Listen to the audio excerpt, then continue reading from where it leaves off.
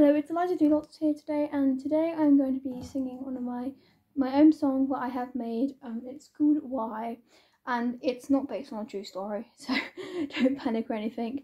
But um, yeah, sorry if I mess up, me- mess up, and um, I will have to turn the page over one bit, so there might be a little break, but.